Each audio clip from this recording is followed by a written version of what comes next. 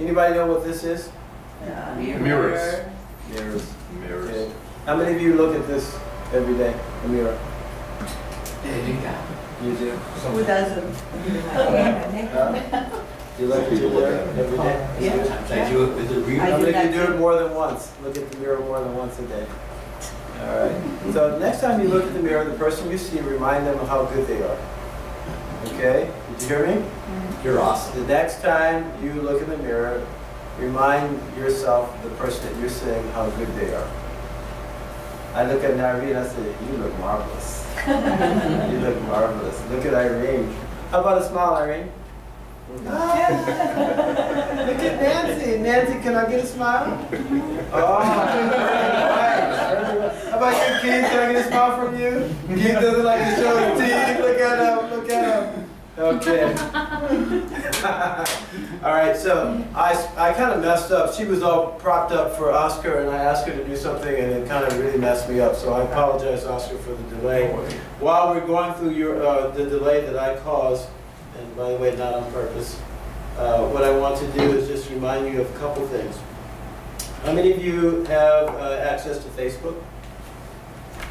Take a look at our Facebook uh, account. There was a wonderful experience that I had this sun Sat- Sunday, right next door to us, and that is the Sahara Gallery. Anybody know what the Sahara Gallery is? Yeah. It's an art gallery that's right next door. And they had an exhibit. It was on uh, the plight of the women and, and children in, in Syria. And they had a couple of female artists uh, who made wonderful, beautiful presentations. And so some of their artwork will be displayed and some of the people will be displayed on our Facebook account uh, this morning. And about two weeks from now, we're going to have the opening of uh, our next door neighbor. It's the, uh, what is it? The- San Fernando Valley Museum. yeah, the Museum of the San Fernando Valley. And if you like history and those kinds of things, right next door to us, we are in the hotbed of culture, cultural activity right here in this building here. Right next door to our Alpha Omega Escrow is the Sahara, New Sahara Gallery, right? And next door to them is the Museum of the San Fernando Valley. So if you want to know history about the San Fernando Valley, you, you're right here. And about a half a mile down the road, there's this thing called the Valley Performing Arts Center. Anybody been there? Seen it, looks nice. Oh, you gotta go. I went in about uh, a month and a half ago and I saw a show. It's called the, the Peking uh, uh, Dancers. It was from Peking, China. And they, they were wonderful acrobats. It was marvelous. But they have all kinds of exhibits and presentations. There are uh, artists from all over the world come there to perform right here in our San Fernando Valley. So it's a great resource for us to know about because a lot of times people want to move in the area where there's arts and culture. Is it working, Bunny? What is it? I'm restarting. You want to restart it? Yeah. Okay. You want to use my, uh, my iPad? No, because I need to get Oscar. Oscar, did you email that presentation to yourself anywhere? Um, no, I didn't. Okay, so you have it on I have a flash drive. Okay, all right, so we'll, we'll just edit it until we get to there. My apologies for messing up the presentation. All right, so I wanted to share something with you that I uh, attended um, a couple, uh, actually about a weekend ago. And it was called the, the Fernando Award. Anybody ever hear of it? It was working. The Fernando Award. Who's Fernando? Does anyone know? Um, he was, wasn't he the uh, missionary priest that, that started the mission? Uh, no, not exactly. That No. a good. It was, I thought you were going to say the Dodgers pitcher or something like that. That got Mr. Valley's way then. No, Fernando is really an Indian. Uh, this whole area was, was uh, actually settled by Indians. Uh, many, many years ago, about 300 years ago, there were Indians all over the San Fernando Valley. And uh, they migrated around the areas where there was water. And there was an area that I grew up in. Anybody know the name of the town? Uh, Koima. Koima. The Indian word for Russian water. Russian water. And so, uh, we're still not getting it, Mom? I restarted it. Okay, so anyhow, um, the Indians migrated here, and, and Fernando represents volunteerism. Volunteerism. And I looked up in the dictionary, what does the ter- term volunteerism mean? And it says the principle of donating time, energy for the benefit of others. Right? donating time, energy for the benefit of others, uh, peop other people in the community as a social responsibility. So we do it not because someone made us do it, but as a social responsibility and not for financial reward. How many of you are volunteering in something? What are you volunteering in? Uh, San Fernando Realtors Association Governmental Affairs Committee. Okay, Southland Regional Association of Realtors, right? Mm -hmm. Okay, Nairi? I volunteer in our Armenian community with it. We have Saturday school also, we have, like, we do fundraising and stuff, so I I put more than 100 hours in, a year in volunteering. Very good. Who else had their hand up? Liliana? I volunteer at the LA Family Housing.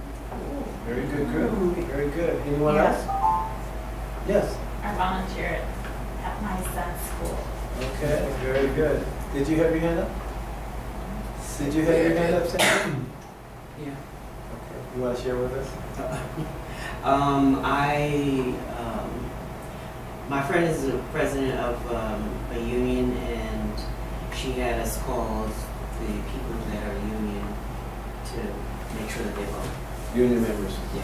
For voter outreach. So I don't know where it was. voter outreach. So I want to share with you, the spirit of volunteerism is really something awesome uh, to do. And there's, I think, a lot of great benefits out of it. So those of you who did not raise your hand either because you were shy or because you're really not spending much time or investing much time volunteering, you are missing out.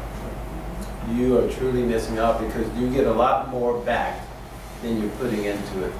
The feeling that you get just from making a difference in people's lives is really huge right? But also what happens, you, you, you develop a reputation for being a giver. And when you're providing service to people, people want to know that you're a giver and not just a taker. If they perceive you to be a taker, they're probably not going to want to do business with you because they think you're going to take them, right? But if you are a giver, and it doesn't matter what your cause is, it could be, you know, uh, for disabilities, it could be for a whole host of different things, but you want to find something that you really care about, Virgil, and you want to give something back to it. Could be your kids, could be your religious institution, could be school, could be for the disabled, could be for a cultural event or a nationality, could be for, you know, the folks from Houston, right? It could be anything that you choose to do, but I encourage you to give back. And you will find out that it's more blessed to give than to receive. Thank you again for inviting me over. Uh, um, I know we have about 40, 45 minutes or so, so, and I tend to talk a little long, so let me know if I'm going a little overboard. so now invite me over to talk about the, uh, the housing market outlook, to give you guys a little bit of information about the economy as well as the housing market. I mean, I always go into meetings or go into uh, an outreach and tell people that uh, you know, you guys are in the market, you guys are actually the expert. I may know a little bit about the uh, macroeconomy, I may know a little bit about the, uh, the aggregated economy, but you guys are in the field. So, you know, if you see anything that I may not be right, jump in and let me know. Um, so here's what I'm going to talk about. I'm going to start with the economic outlook, a little bit about the economy. I'm going to talk a little bit about the California housing market. Um, I did a presentation in, uh, ex at Expo. So, uh, many of you probably have gone to. Pointer there, the- Oh, great, thank you, Raymond's the pointer. thank you. Excuse me. Many of you went to Expo, right? Uh, Yes. Expo- How many of you went to Expo? Great, great. Alright. Um, I had a presentation at Expo. There are a lot of presentations, but I had one that talks about housing affordability. I, I'm going to talk a little bit about housing affordability. Um, I'm going to talk about the regional market a little bit and wrap it up with the forecast. Um, we had a forecast this year. Leslie did a forecast uh, during Expo, and um, it's pretty much using the same slides for the Expo for the for the forecast. So uh, things didn't really cha- haven't changed that much since two weeks or three weeks ago. So hopefully um, our forecast will be uh, still uh, accurate going forward. So let's talk about the economy first. I think I mentioned I, I when I first went came in here before um, the meeting started. I talked a little bit about the economy. The economy actually has been last quarter, if you take a look at, right here. If you take a look at this um, bar right here, that's the fourth quarter. Fourth quarter is actually not too bad. Fourth quarter of, uh, for the nation as a whole was about uh, 4% or so. But what happened in the first quarter of this year? You see that uh, bar right here? Yes. What happened in the first quarter? Probably heard it in the news, uh, heard it uh, earlier this year. We have a prolonged winter season. That's what uh, a lot of economists said. what happened is we had a uh, we ended up having a 2.1, a negative 2.1 decline, a 2.1 decline in GDP, which we haven't had uh, for a while since 2011, and it's not as as uh, as dramatic as uh, what we had this year. This year, uh, this quarter uh, was a 2.1. The last time we had a, a drop in GDP below 2% was in uh, 2009 when we had the Great Recession. The prolonged winter sessions really make a dent in the first quarter, but we bounced back. In the second quarter, we bounced back. First, it was reported at 4.2%. It was revised to 4.5 and 4.6%. Um, of course, these are just numbers. What do you guys think about the economy currently? Do you feel good about the economy? Pretty good. It's kind of moving along. It's not no rockets behind it, but it's it's not falling off a cliff either. So nice, consistent pace, I think. Good, and in fact, I mean, think, I think that is going to be the case for the third quarter and the fourth quarter. For the third quarter, which will be released in uh, two couple days uh, later, uh, on Thursday, they will release the preliminary GDP. I believe that is going to be about 3%, and the fourth quarter will be about 3.1%. And of course, it doesn't mean anything if it's just GDP, those are just numbers. It matters most in the labor market, you know, whether people get jobs or not, right? That's what uh, we look at when we look at jobs, unemployment rate and also job growth. Unemployment rate at the national level is at 5.9% right now. It doesn't mean anything with just that number, but if you take a look at what it was back in uh, 2009, it was, let me see, for US, it was close to about 10% or so. Um, for the state as a whole, it actually went all the way up to 13%, meaning one out of eight people, uh, persons in the labor market was without job. Um, and also, 6%, below 6%, this is 5.9% is the first time uh, in since 2008 that we had a below 6%. 6% by economists is usually considered what a uh, natural uh, unemployment rate, meaning even in a, in a healthy environment, people are moving around, you usually see about 6% of people who actually are considered unemployed. They might be moving from jobs in transitions for so. Is that is that full employment? Is that considered? Is that the same as full employment for economists speak? In, in economists speak, yes, but uh, of course it depends on, on the time. Usually they, they fluctuates too. It could be 5.5 and it could be 6%. People talk about new normal. A couple years ago, we were talking about new normal that will never actually get to 6.5%, but we did get to 5.9%. This, uh, and the, for the rest of the year, I think we'll probably continue to move along. It may not go down more uh, uh, significantly below 5.9%, but we probably will be at around 5.5 to between 5.5 and 6 percent.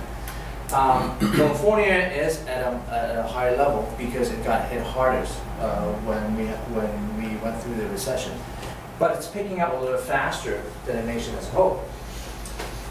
if you take a look at the uh, green bar right there, uh, you see that for roughly about from this point on to here, California seems to be growing a little faster than that black line or blue line, uh, dark line right there. It's growing a little faster than the U.S. as a whole, um, as the nation. Part of the reason is because of the Bay Area, because of some of the coastal area.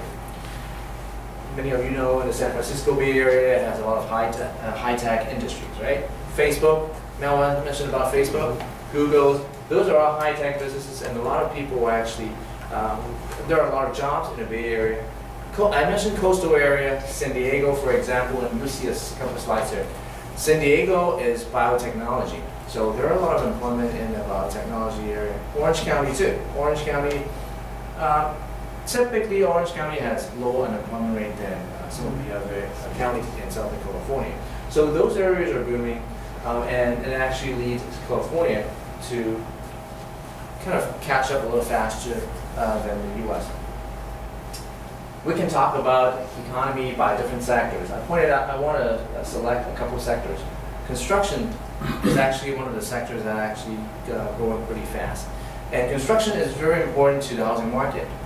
Uh, and you would, uh, you would hear from me that construction industry basically uh, is the supply for uh, the uh, properties, housing, uh, uh, housing properties and things like that. And we are currently in a um, kind of a housing supply shortage. We'll look at the inventory a little later. And I break it down a little further. Uh, in September, construction actually was growing at around 6.2%, uh, actually leading all the industries in terms of uh, economic growth or job growth.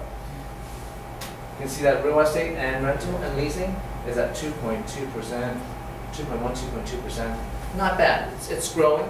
Um, not growing as fast as some of the other industry like information, uh, but it's certainly better than the government sector and the finance and insurance sector. And currently, California is growing at 2.3%, which is 390,600 uh, job growth. That's a uh, year-to-year comparison. Um, and I mentioned about looking at it by different areas, by geographic area. And I said, you know, San Francisco Bay Area, San Francisco, San Jose, those are areas that are actually booming. And um, I'm sure some of you have visited San Francisco, the Bay Area. You probably realize the uh, housing market there, as, as far as price is concerned, Really high it's, it's really, really high. Um, I don't have, because this is basically a Southern California presentation, so I don't have those numbers here. But uh, San Mateo, for example, I think has a median price of over 1 million. Um, yeah, and that's a median price. Um, and San Francisco and Santa Clara, of course, there are a lot of uh, houses in Santa Clara that has like a 3 million, 4 million, or 10 million uh, price tag. And uh, it has a lot to do with, of course, people making money, a lot of money there, but of course it also has a lot to do with inventory. Um, I asked earlier about how you feel about the economy. That's basically what's explained this particular graph, consumer confidence. Um, it really depends on uh, what the number is. Uh, for GDP growth rate or unemployment rate, doesn't really matter. Uh, it depends. It, it, it matters how you feel about it and whether you want to spend money. Consumer confidence is one of the indicator that actually uh, that people collect, that economists collect, look at to see how confident consumers are about the economy. Um, earlier today, when I was preparing for the presentation, I was looking through the numbers, and this number earlier was um, for September, September, September 2014. Um, I was prepared to tell you that when the October number comes out, well, this number earlier was 86 instead of 94. And it peaked actually in August, it actually peaked at 93. 93%. Uh, uh, 93, index of 93, and it dropped in September to 86. I was going to tell you that, well, what happened in uh, August, well, what happened in September was there are a lot of uncertainties. In September, of course, we have some geopolitical pressure, uh, geopolitical pressure, uh, tension between uh, Russia, Ukraine. We ha- also have fear of Ebola, we still have. Um, but that was before the stock market actually started fluctuating a little bit. At the end of Sept- uh, September and uh, early of October was the time when it fluctuated. I was going to tell you that October most likely will go down. But it actually, I didn't, I actually forgot that the number actually, the new, the latest number released was this morning. It actually shot up to 94.5%. So Wow. instead of, instead of dropping to 80, below 86, it actually shot up. Um, so in a way, I guess, when people looked at those numbers, stock market matters, but also, um, they also still feel good about the economy. It's stabilizing, labor market is still doing well. So um, it, it's actually hit the highest that we have since uh, s- 2008. Are you sure that's not because Christmas trees are up in the stores and people are, It oh could be. boy, it's time to spend? It could be, it could be, but, uh, but No. people are feeling confident, that's, That's that's, just, no, I that's know. just being. Now, we also want to look at consumer price index. What is consumer price index? That is basically what, uh, what you look at when you look at inflation. Why do we care about inflation? Well, people may not necessarily look at inflation on a daily basis, but uh, we should pay attention to inflation because Federal Reserve look at inflation. And what does Federal Reserve does? It Interest adjusts rates. Interest rates, right. When interest rate changes, it, it affects housing demand. So it definitely changed. Now look at the all item and the core. All item is everything. Core is everything minus food and uh, energy. Um, we have some drop in oil, uh, gasoline recently. Uh, so I think in October you probably will see the core inflation going down a little bit. The all item probably will stay flat. Usually, what is considered an inflation, um, federal, uh, the economists considered over two, two and a half percent as um, something that they need to concern, be concerned about. So Federal Reserve, the, the Fed probably will not do anything if the, uh, to the Fed funds rate if it is below two, two and a half percent. And they are holding it off. Most likely, they are going to make some changes to, excuse me, to the interest rates. Um, mid of next year. Now, when they announce, the, the, the, the reason I want to uh, bring up, you know, the, uh, the uh, inflation and how Fed reacts to it is because we did have a reaction, the uh, interest rate did have a reaction last year, mid of last year. Remember mid of last year in May, Yeah, what was interest rate? but, well, it went from three and a half to four and a half. Right, it jumped like 100 basis point in a matter of like 10 days or so, right after they made the announcement that they're tapering off the bond buying program. What is the bond buying program? It is the program that actually, uh, in a nutshell, keeping the uh, interest rate low.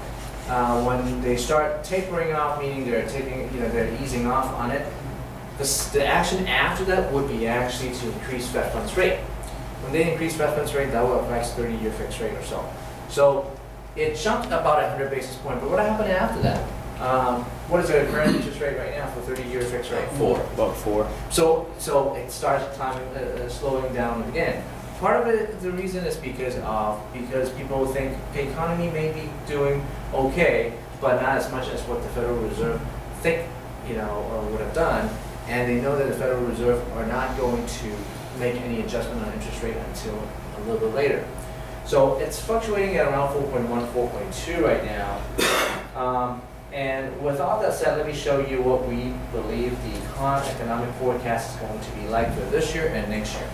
And I'm going to go over the housing market for us very shortly. In 2014, for this year, we believe even with a drop in um, the GDP or the economic growth in the first quarter, we're probably still going to end up with about 2.2% increase. Not robust, but you know decent. Um, that will affect the uh, non-farm job growth of the labor market, increasing it by about 1.8%. No, not much inflation. We only have about 2%, which is still under control. And um, disposable income will increase by about 2.6%. Disposable income is the money that is in the hand of consumers that um, you know they're willing to spend. 2015, next year, it's going to be a little bit better. Uh, 3% in GDP growth rate. Uh, and job is going to grow by 2.2%. And we are expecting unemployment rate to actually dip down to 5.8%. Now, that number is a, an annual number, not a year-end number. Uh, year-end will be lower than 5.8 probably. Um, and there will be a little bit more price uh, inflation, 2.2%, but again, it's very, very minimal. What about California? For California, we're going to see a uh, 2.2% job growth, slightly better than the nation as a whole. And unemployment rate is not going to, uh, for 2014, it's not going to go down be- uh, below 7, but it's still significantly lower than the 8.9% that we had in uh, 2013. Population growth is going to stay pretty consistent at 0.9%. and the disposable income actually will be uh, growing at 3%. And next year, a little even faster in terms of job growth, and unemployment rate will finally dip below 7, and then we have population growth of 9.9% again and 3.8% disposable income. So, despite you know the forecast, forecast is the forecast, but there are a lot of uncertainties. Uh, what are some of these uncertainties? Uh, you know, we mentioned about stock market volatility. We talked about. Um, I didn't. I didn't tell, uh, say too much about um, the. oh, I mentioned about geopolitical pressure, but I didn't say too much about um, the economy in other countries. You know, we are in.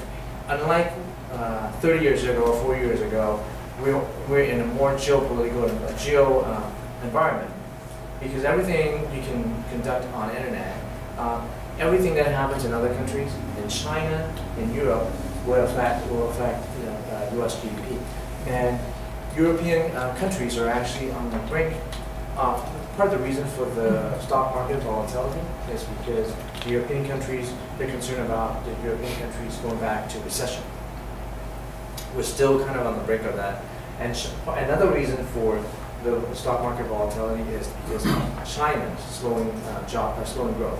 I think uh, they released their second quarter report, and that's actually a little bit better. Or third quarter report is actually a little bit better than what people expect. So that's why the stock market is coming down a little bit.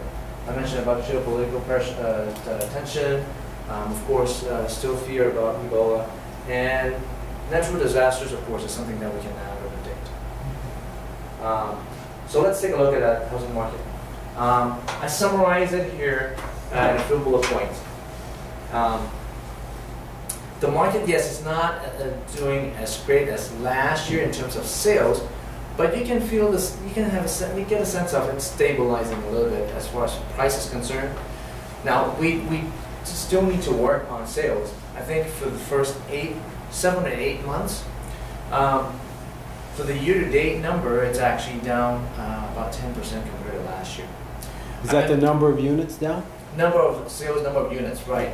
Now, I, I, I now earlier, um, I said, it looks like based on the September number and October number, um, things are actually coming down a little bit. For the October, um, for the pending sales that I think we are posting online today, the pending sales, which usually reflect what's happened in the next month or two months or so, before October, before the September number, um, the pending sales actually has been showing a year-to-year decline of roughly about seven or eight percent. So it means when compared to last year, it actually dropped by about seven percent or so. But what happened in September, and I hope this is a trend, in September, we're seeing the year-to-year percent change of only a drop of 0.5 percent, less than one percent. I believe we are probably going to go into the fourth quarter with a little bit of momentum. I think we probably will have a decent fourth quarter when compared to last year.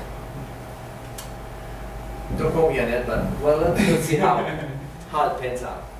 Um, other things like prices, prices are sh- up sharply. We had 24 months of um, price increase, double-digit price increase. I'll go into a little bit more detail, but it's stabilizing a little bit.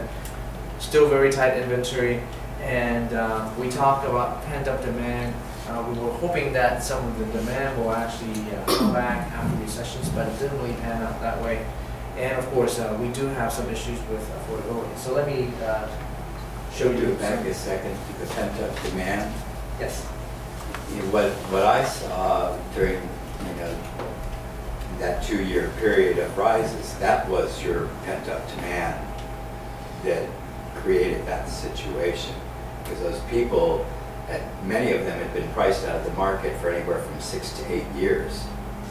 And, and that's what contributed to that really, really crazy two-year increase was all those pent-up buyers.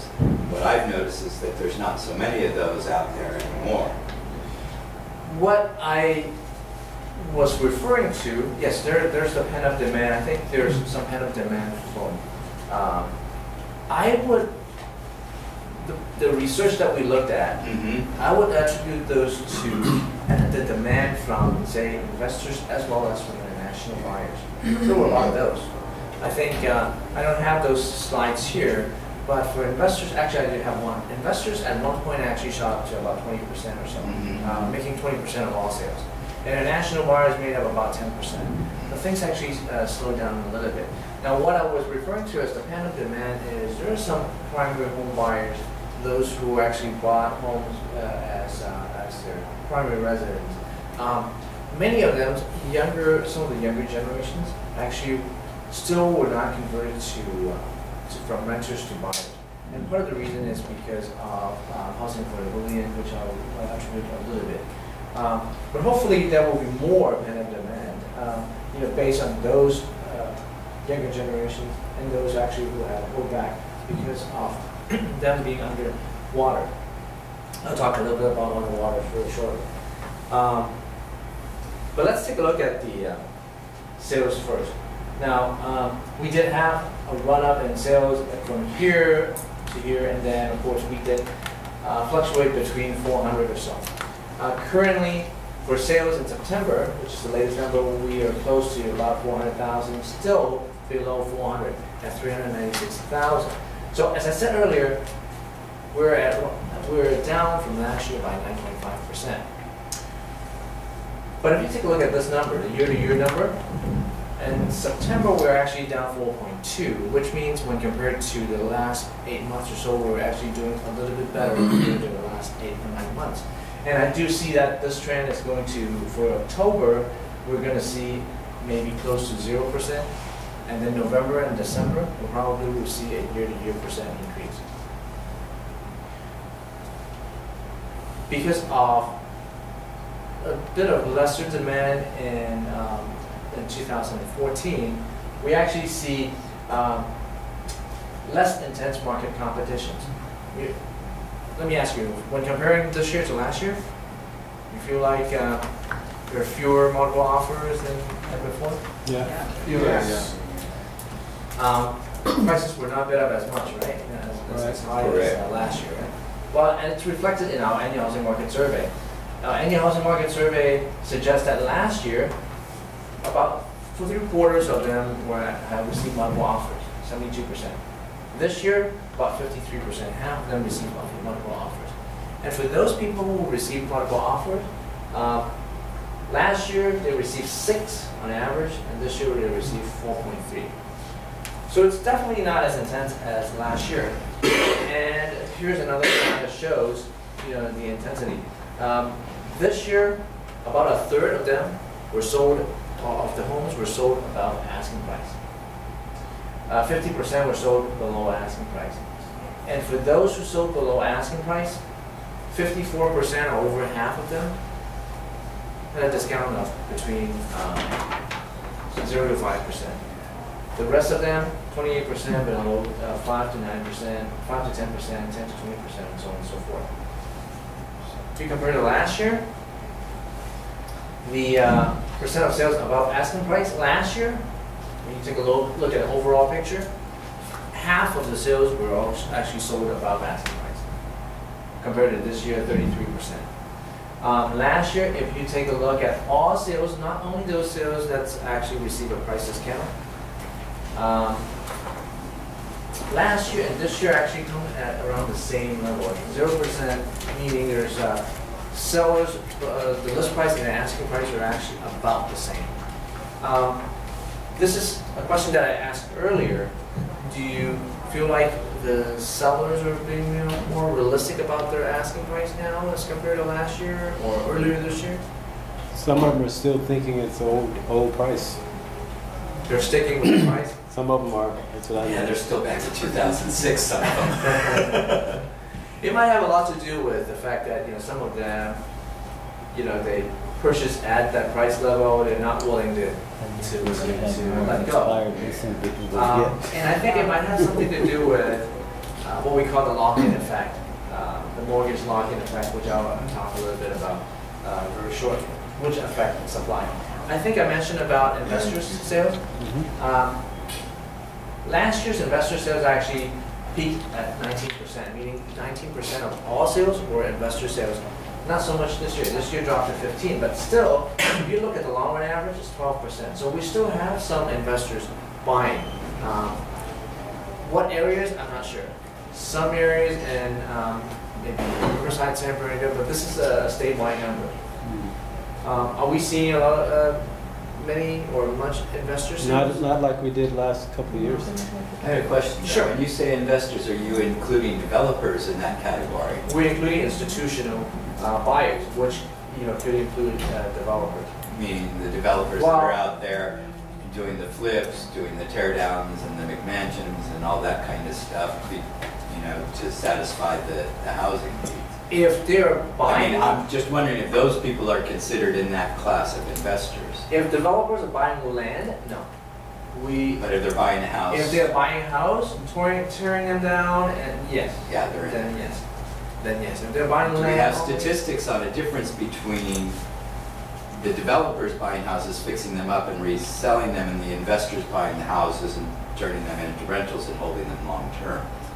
We have an investor survey. We, I think we have an investor survey um, that we released last year. This year, I think we don't have that statistic. But within the investor survey, we ask whether they're institutional buyers or whether they're individual mom and pop. Mhm. Um, Of course, the number could be still very small in terms of observations. Um, But uh, take a look at, on our website, on our CAR market data website, take a look at the investor surveys. Um, Mhm. They're all free, you know, for you to look at, PowerPoints and, and, and to take a look at. It might mention, I don't remember specifically asking that question, but But definitely take a thanks look for at it. the lead of where to find out. Right, right, it's on CAR.org, it's in the market data sections and survey, so definitely check it out. Um, Now, because of investor sales, we actually have, well, part of the reason, let me, let me take a step back. Part of the reason why investors, I'm- I know I'm blocking you from time to time, so just let me know. Um, Investors kind of backed out uh, this year because there are not as many bargain properties out there. Um, Bargain properties, typically what we call bargain properties, or what, what would we consider bargain properties, are some of the properties in the distressed uh, market. It is dropping because if you take a look at the uh, numbers here, compared to what we had back in 2009, 2009 we had 60% of all sales being uh, REO. Right now, what, 4%? That's dropped down quite a bit. Uh, in terms of short sales, we had 10% in 2009. It shot up to about 20% in early 2013, started coming down. Part of the reason for short sales to come down is because of increasing home prices.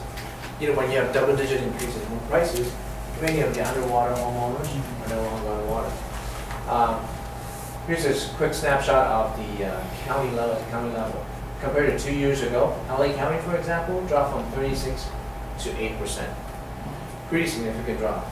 And of course, in 2012, we actually have, August 2012, home prices was probably at around 300,000 as compared to today, 480,000. Um, with fewer distress sales, of course, uh, those in the lower price segments dropped. In the higher price segment, it's actually increased quite significantly. Um, you may notice recently, or in the last year or two, we'll probably have more million dollar homes being sold. Um, Part of it is because of increasing home prices, part of it is because of um, the general trend that more homes are actually uh, not in the uh, distressed uh, arena, in the regular market sales. And of course, there are probably some homes that uh, sellers want to sell at a certain price, and dollar homes at a certain price, and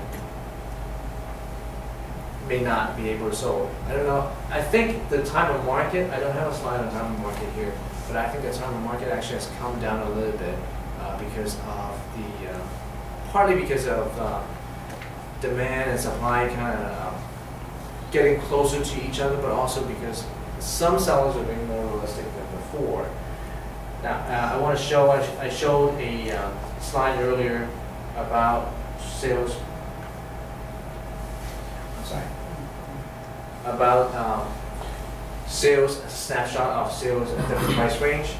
Here is one that shows a historical. And you, as you can see, for sales above 500,000, it actually has been growing since early to 2012. It is the distressed market or the low properties, low price properties that actually has been falling. For the red line, for example, it actually has been dropping in terms of sales throughout the last couple of years. So we are definitely seeing some increase in the higher price segment. Yes. You, you mentioned that the higher priced homes are starting to sell, we're starting to see more million dollar homes, the price is going up. How does affordability impact that? If afford- if affordability isn't moving as fast as it once was, how, how do we, do you think it's sustainable that the higher end prices, the properties will continue to sell at higher prices if affordability is not keeping up with it? It seems like there's a little bit of a disconnect there. It certainly would not if it's continued to increase at double-digit rate. And as I mentioned earlier, which is the next slide, prices actually have been increasing at double-digit rate for 24 months prior to June, meaning from uh, June of 2012 to um, June of uh, 2014 actually has been increasing on a year-to-year basis by more than 10%. I think at, at the peak it was increasing by 30%. That is definitely not sustainable. Definitely not sustainable. And that's why I'm actually glad to see home prices actually uh, tapering off a little bit and increasing at around 5 or 6%. And our prediction is that next year is going to increase at around 6% or so, which I think is uh, reasonable. Um, and currently, you know, in September, it's at, at 7.6%, and I think uh, in the fourth quarter, we will increase by about 6 or 7. Now, you mentioned about, you know, sustainability of home prices. Here's the home prices in the long run. You see that the red, the orange line here, this is, as, as far as upward trend is concerned, it's pretty steady, right? Until, what, 2000, 2001, it started spiking up significantly. That is definitely not sustainable. I don't think we'll see 600,000 uh, as the median price for a while, uh, maybe not for a few years. Uh, It's not sustainable, uh, how do we know? Because it dropped significantly. It dropped in a year or two from 600 to about 245. So it dropped to a pretty low level here. But then we started picking up a little bit. Um, if you do the trajectory here, I didn't do a trajectory here, but if you look at the trajectory, the trend, trend line here, we're right about where the trend line is right now. So I think for home prices, oh, Okay. yeah, if you extract it out, Just Right kind of leveled it through. yeah, it's right about now. So, you know, 450, 460 is probably right about where we are right now. If we increase by about 6% next year, we're, we're right about, you know, the, the long run appreciation, price appreciation.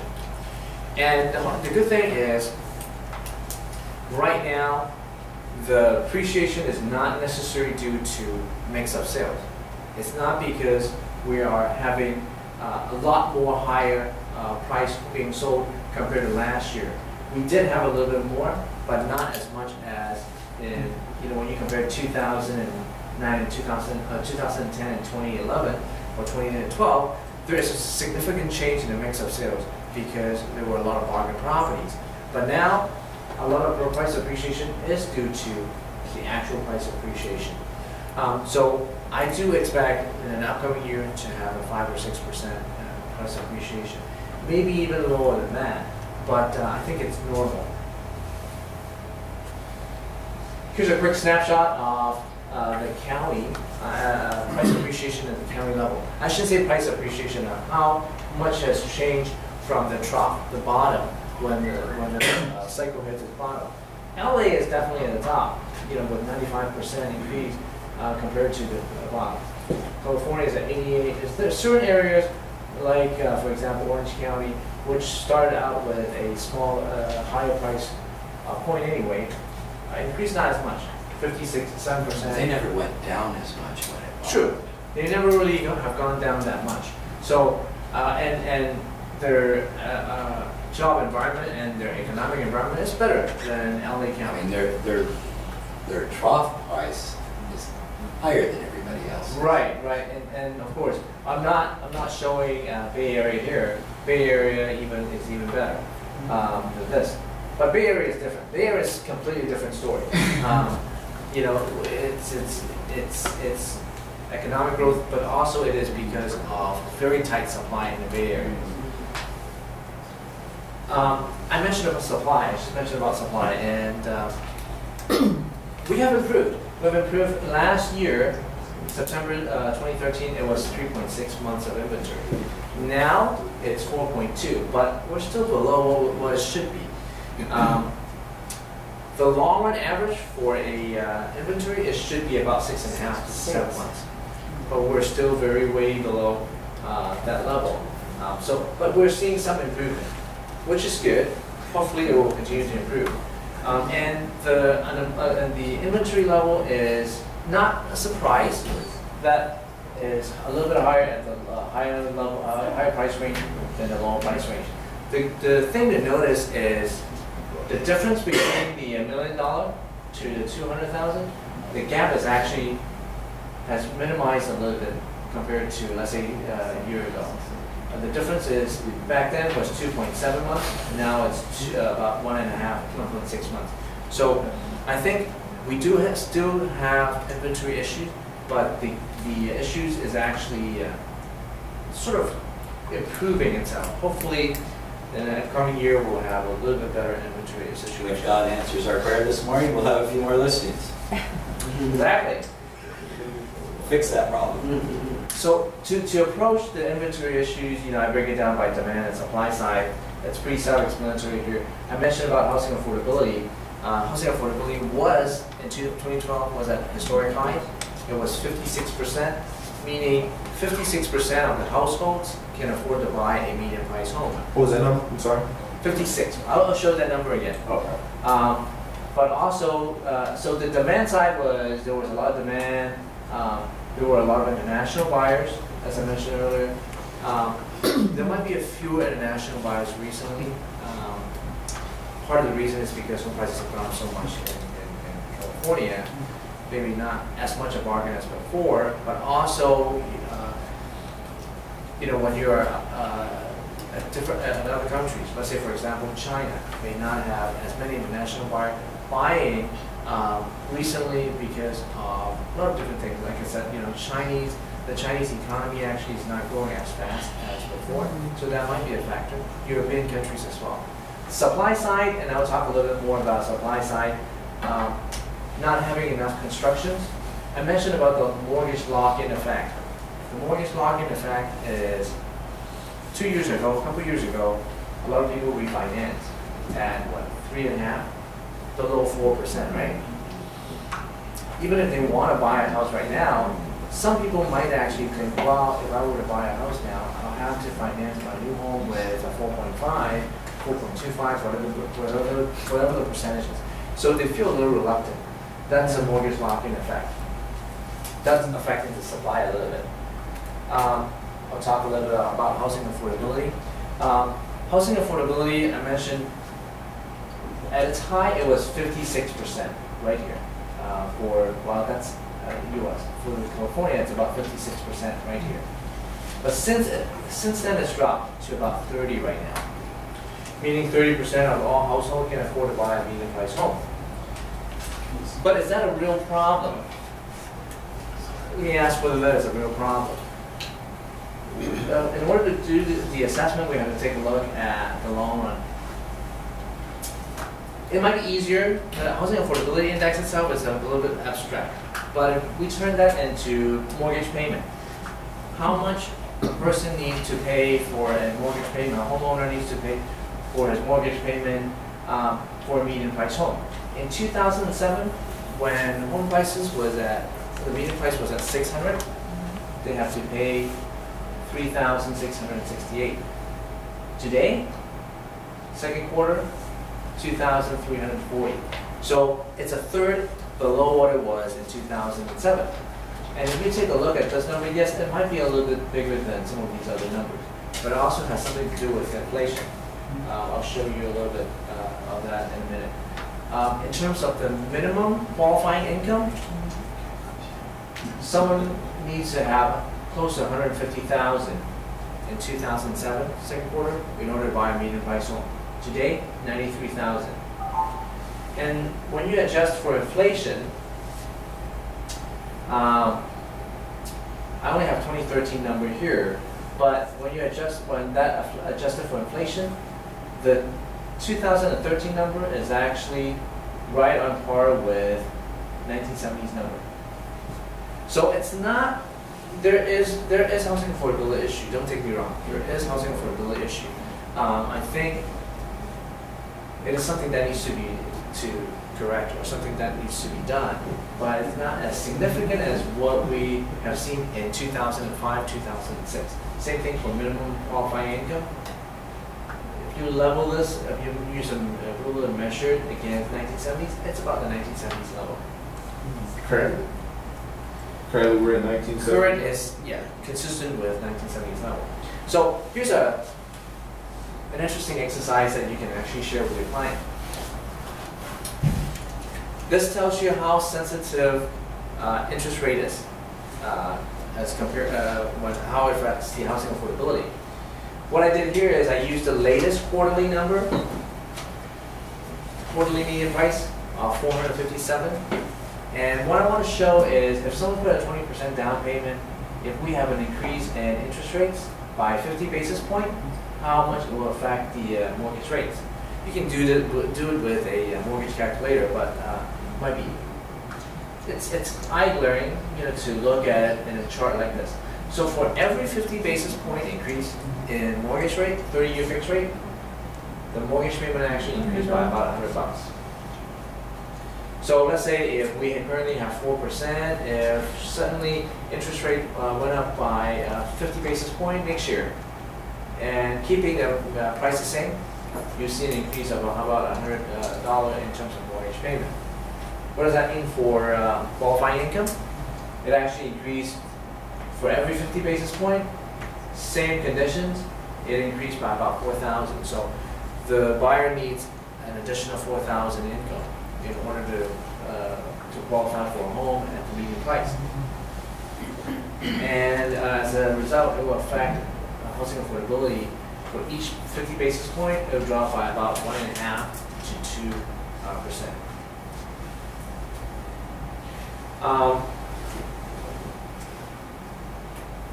as much as we want to keep interest rate low so that people can afford to buy a home, majority of the uh, the effect on housing affordability is on, on um, home prices. From 2012 to 2014, the minimum income required increased by about 37,000.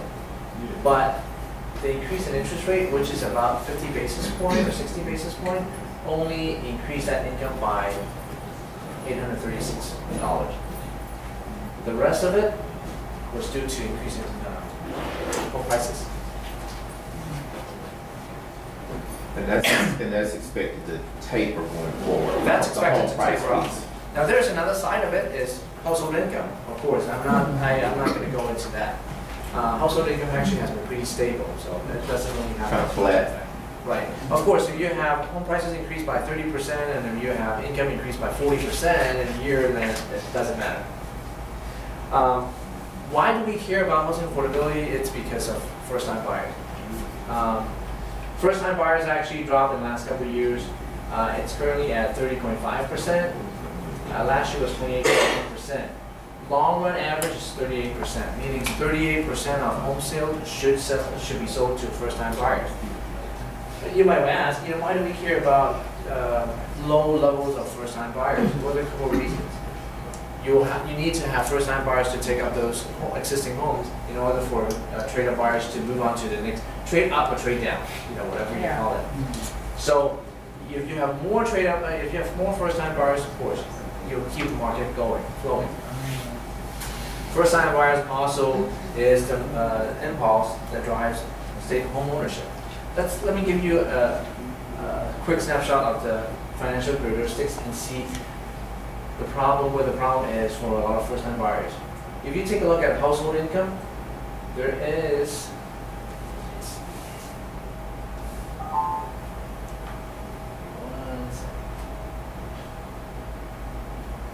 If you take a look at the uh, household income, there's definitely a difference between first-time buyers and repeat buyers. 80,000 versus 120,000. But if you take a look at this number, the median monthly mortgage payment, First-time buyers is not, first-time buyers mortgage payment is not two-thirds of repeat buyer. It is a little bit lower, but they still have to pay maybe about eighty percent of what repeat buyers have to pay. What is the reason? The reason is because of the month, uh, the down payment. Look at how big the difference in down payment is. Mhm. First-time buyers are only paying about one-third, uh, uh, putting, down- putting down about one-third of the repeat buyers. The median down payment, ten percent versus twenty percent. Now, I don't have a slide here, but there is something on the CAR website. You definitely, I would encourage you to, uh, when you, when you work with the first-time buyers, or with, when you work with the buyers, I encourage you to go, to, uh, uh, let, have them check it out. It's called the Mortgage Resource, uh, Center, uh, on CAR website, CAR.org, uh, go to, um, mark, uh, it's not on the market, yet, it's market, type in Mortgage Resource Center. What this page would show you is that if, if you type in the address or the neighborhood, it will allow your buyers or yourself to come up with programs, mortgage resource program that might actually help your buyers to either um, find, help them finance the down payment or help them with their mortgage payment. So definitely take a look at it. It's called Mortgage Resource uh, Center on CAR website. Um, we ask renters why they're not buying, and that's the reason. Mainly because they can't afford to buy or because of credit issues. Is it a false reason or is it really real? These are pretty real. We looked at actually um, some of the, uh, and again, this is these are this these are renters. We look at different surveys. Many of them actually said, uh, most of the time it's 50% that says they cannot afford to buy. It's mainly because of the down payment, I think. Yeah. We had, we, we, last year we had an expectation of, um, this year being a positive year in terms of sales. But I think we had underestimated how much uh, impact it has on uh, median down payment, that people are actually not being able to accumulate a down payment. Um, And student loan is actually an issue. Um, Many of them, twenty-three percent actually said student loan is an issue. And for those who actually have a student loan, look at how much they have. Three quarters of them, more than three quarters of them actually have more than ten thousand. Imagine if you have to pay off your student loan for a lot of the millennial, to pay off student loan, let's say in five years. Did you say more than ten thousand or less than ten thousand? I'm Sorry, less than ten thousand, less than ten thousand. Um, a lot of them actually, about twenty-three percent of them actually have more than ten thousand or so. If you have to pay off your student loan, you probably have to, uh, come up with another four, five hundred dollars every month, um, to pay off your student loan. And then, of course, take a chunk of the uh, income out of some of the uh, newly graduates. And actually, this is, uh, pretty telling. Uh, between two thousand and four and twenty thirteen, that student loan debt actually increased from four folds, from two sixty to one point oh eight trillion. So it definitely increased quite a bit. Um, and because of that reason, and because uh, people not being able to afford homeownership, actually was at sixty percent at one point, down to fifty-four percent right now. for California.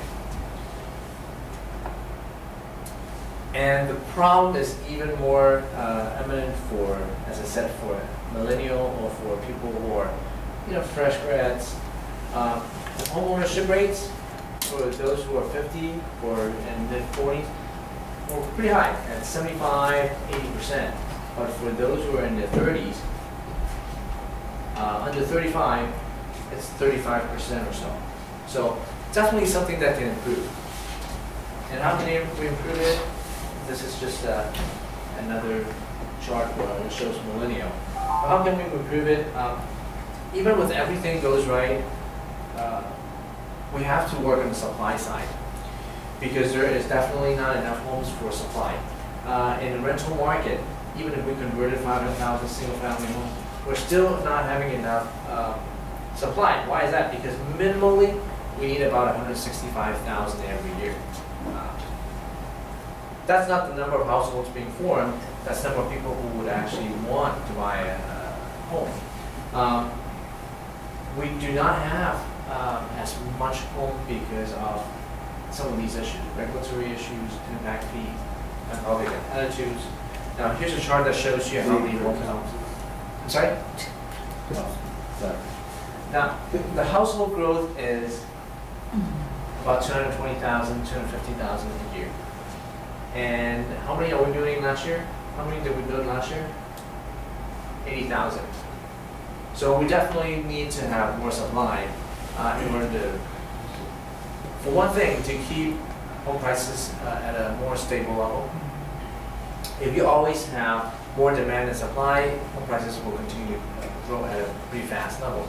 You want to kind of stabilize it. You want to increase home ownership.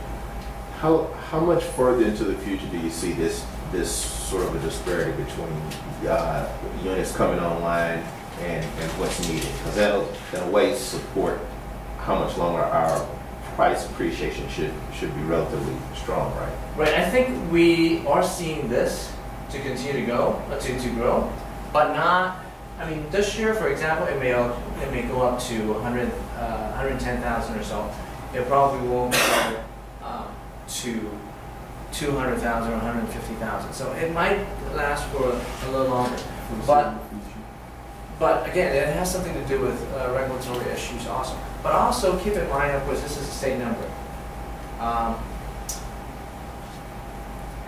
you can build a lot of homes, let's say in San Bernardino, but if you don't have the job there, people are not going to move there.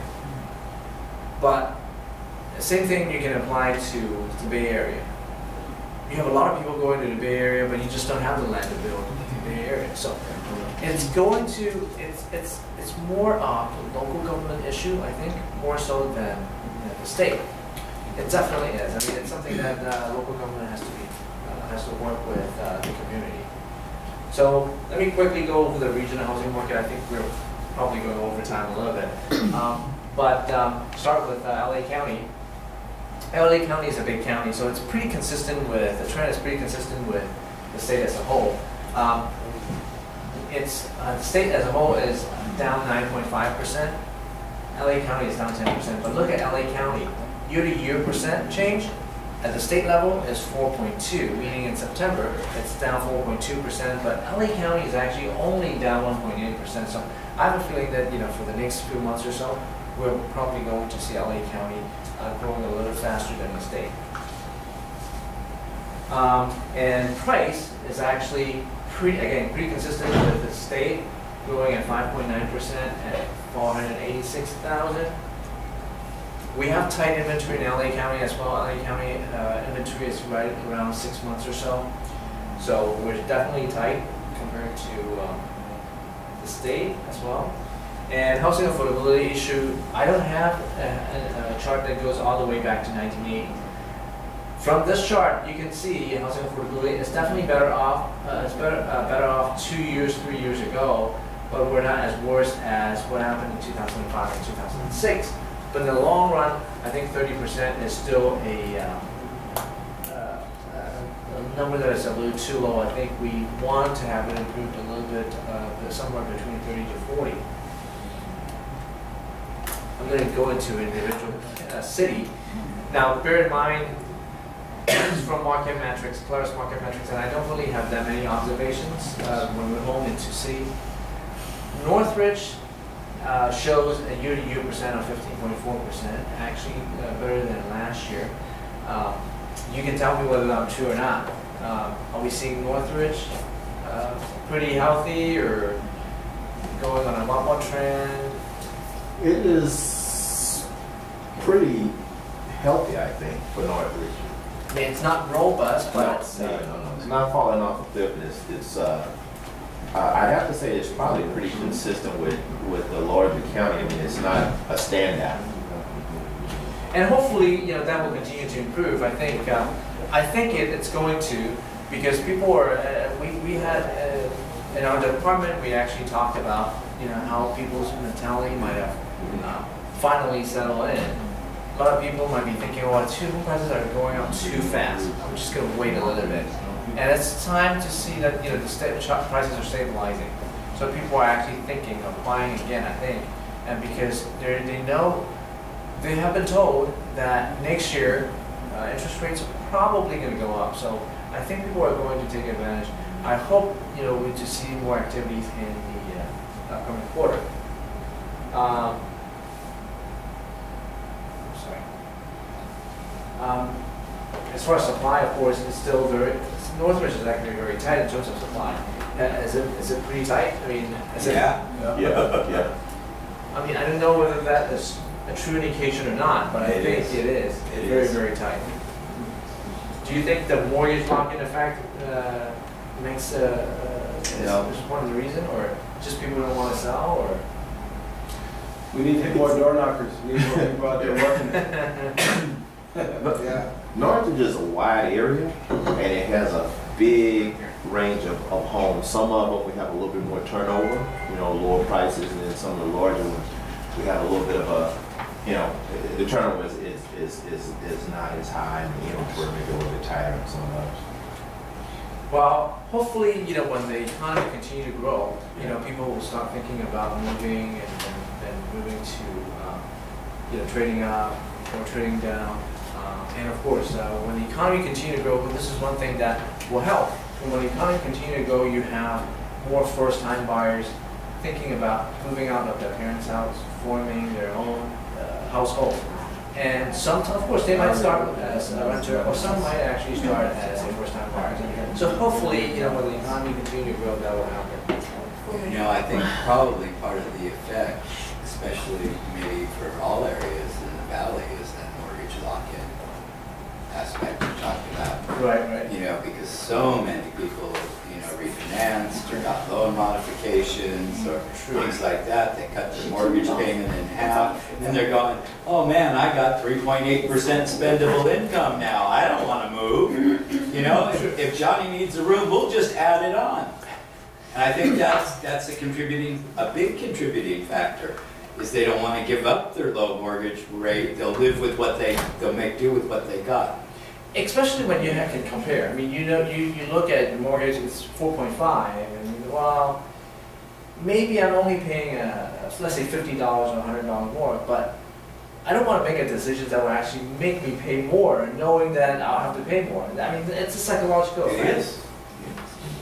Um, and of course, uh, Granada Hill, I actually don't have much information based on the observations only three units, so take this with a grain of salt.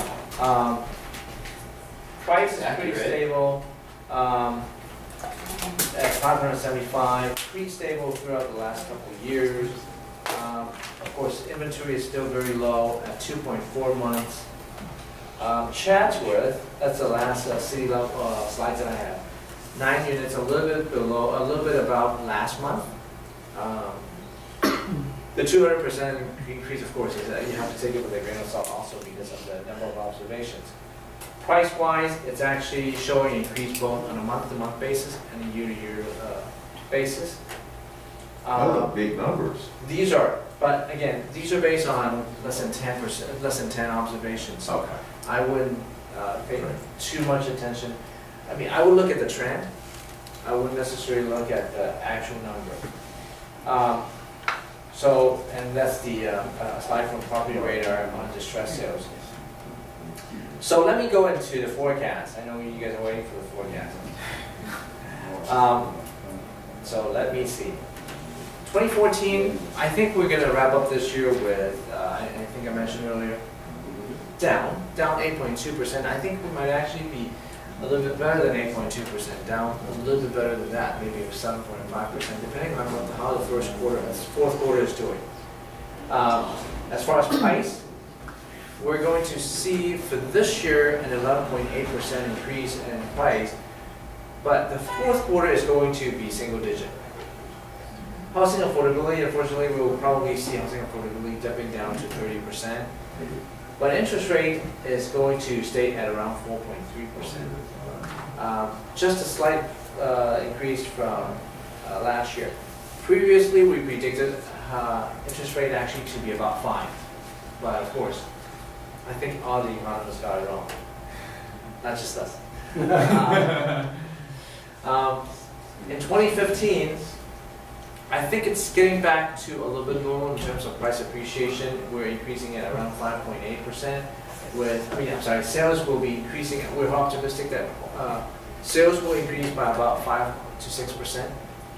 Uh, Home prices will increase by about 5.2 and affordability will actually continue to dip to 27 Uh, despite the fact that interest rate is not going to go up that much, it's going to go up to four point five only. And this is just a graphical depiction of what I should show you, but in terms of dollar volume, for the state as a whole, uh, we see that 2014 will increase slightly by 2.7%. For uh, 2015, is actually will be increasing a little bit more because of the increase in sales as well as increase in price. And um, this is the final slide that I have, that I want to show you. Um, Despite the fact that, yeah, people might think, uh, they might want to hold back, some people might want to hold back, you know, buying, some people may not have the affordability to buy right now, but when we, when we looked at the Gallup poll, when we ask what the long-term investment is, thirty percent of the people still think real estate is long-term investment. So, I mean, there are stocks, there are bonds, but they still think long-term investment-wise, real estate is the best investment. So that wraps up my presentation. Thank you. All right, so uh, a little time for Q and A, Oscar, if you have it. Uh, I saw some uh, particularly interesting trends there about affordability, about consumer confidence, about supply, all those kind of things. How many of you would like to have an edge for getting a listing in the next 30 days? Anybody here? So you want to ask him a question about why a seller should want to put their property on the market now? That's a great question. Why now versus next year? Well, it, okay, see, here's the thing. We, uh, people ask us, us about, you know, how to actually encourage, you know, sellers and buyers to, uh, get into the market. Here's the thing, first of all, of course, um, as a, as an, as a, as an agent, uh, be honest with your uh, sellers about home prices, of course. They have to be realistic about home prices. Thing is, you know, in the current environment, and I've been saying that for you know, a year or two years, even though we have an increase in home prices in the last two years, current market is, housing, as far as interest rate is concerned, is still at a very, very low level. That's the, that's, uh, that's take to the advantage of home buyers. So sellers want to, you know, trade up to, uh, sellers want to, uh, let's say, move up or move down. They want to make sure that, you know, in the current environment, it is affordable for some of the first-time buyers. And plus, knowing that the home prices has already gone up by twenty percent or fifteen, whatever the percentage is, and it's still going to continue to increase by about five or six percent in, in, in the upcoming year, with uh, a, de- a, a, market with uh, eco- economy actually staying at a pretty stable level, with a housing market uh, with inventory increasing a little bit, and home prices actually not increasing at double-digit level, sellers have all the reasons to put their house on the market to entice, uh, for, uh, to entice uh, first-time buyers or buyers to actually buy their home, and then they can move on to, you know, trade up or trade down to a, a different home. It works on both of their advantage. You know, as a seller, you, I think you can sell at a relatively fast rate, but at the same time, you're taking advantage of uh, moving up to your next home because you want to take advantage of the interest rate yourself as a seller. And, and the fact that, you know, prices is only going at around six, uh, six or seven percent, a decent rate. One question is a follow-on to that. Sure. What, what- how much of an, well, you talked a little bit about the, the amount of the impact, you quantified uh, uh, rate appreciation. How long do you think we'll have in this sort of, you know, before the Fed moves and then we have to all start to mentally recalculate what that's going to do to, the home prices because of the higher rates and the more money people need? We have another year of that, you think, before the rate, before the Fed starts to move? Now, housing affordability is a couple of things. Of course, I think I mentioned about income, but let's think about the household income increase for now. If you take a look at how, uh, housing affordability, it's basically because of interest rates and home price increase, right? As far as home price as far as interest rate is concerned, the Federal Reserve, I think I mentioned, they're going to uh, keep it down, uh, keep it uh, uh, slow uh, for 2015. And they're probably going to keep it low for, if you ask a lot of economists, they probably will tell you that uh, as far as the economy is concerned, it's not going to go robust for the next few years. And it's not going to tank of course, you still have some fluctuation, but if you look at, because we're in a global economy now, what happened in China, what happened in Europe, what happened to the US, of course, uh, is, uh, will affect each other. But also, when you have a global economy, it's much bigger, and the effect might actually, may not be as uh, significant as before. You know, when it comes to, uh, when it comes to affecting individual coun- country. It doesn't affect, but it may not have as much uh, impact as before. So I would think a lot of the economists actually believe for the uh, economy in the U.S. will continue to go probably for another three to four years. If that's and and they're not going robust, it's probably going to grow at a decent rate as, as you probably saw in my uh, chart there. It's been growing at around two three percent. That's not robust gain in economic growth. If they're going to continue to grow that way, most likely the Federal Reserve will keep interest rate low. Maybe increase by uh, quarter, uh, 25 basis point, 50 basis point. For the, for next year, we don't think, we certainly don't think it's going to go well, but uh, beyond five. The year after, maybe close to five, but even with an increase of, is that my phone? I'm sorry. I don't think it's, Say, Who's that? it's on your phone. Um, so it's been, it's been, it probably won't go about uh, five percent um, for the next, uh, in 2015 or in 2016. Um, And home prices, as I said, you know, it's actually is showing a six percent, five percent increase next month, right? I mean, next, uh, next, in 2015. 2016 actually might even level off even a little bit more. So I think for another two, three years, you will probably see a pretty stable housing affordability environment, even though we are expecting housing environment to actually drop. Uh, But hopefully, with the economy continuing to grow, uh, first-time buyers will be able to buy. That free up some uh, uh, uh, sellers from buying uh, their next property. So I don't know whether I answered your Yes. question or not. Yes, you did, thank you. all right, we're gonna go around the horn. Anybody have a question? I Keith? Don't have any questions. As long as these, well, these slides are available online, so I'll be able to. I will be able to send, try. I'll be able to send it to Mel. Well, Um, Also, I didn't have a chance to mention, uh, up here we have, these are the links that where you can get some of the resources. CAR.org market data, you can find a lot of resources uh, from our survey research department. We also have a Facebook and Twitter account, and of course, that's my email address, that you can always send me, uh, if you have questions, send me an email. I may or may not be able to answer. uh, but- You do a pretty good job. Yeah. You also got webinars too as well. Mary? Um, we do have a webinar. Did you? Coming out. This Thursday. I would have one question. Do you see any improvement in the, uh, the uh, mortgage market? You know, like the, the tight credit, you know? um, The underwriting requirements. Yeah, for first-time home buyers and, you know, everybody else.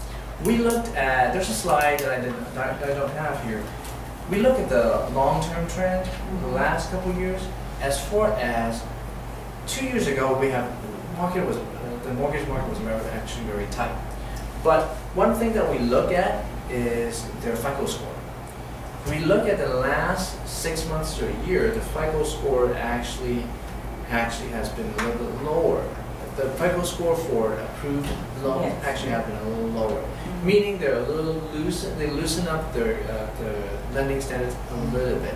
Now, is that a good thing or a bad thing? I think loosening up too much may not necessarily be a good thing, uh, but I think, you know, if they continue at this level, or maybe loosening up a little bit, I think that will work.